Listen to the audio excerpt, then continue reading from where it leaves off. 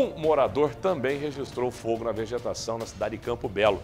O vídeo foi flagrado da janela da casa né, dele. De longe dava para ver aí a fumaça. Não há informações de feridos. Você acha que esse fogo aí pegou sozinho?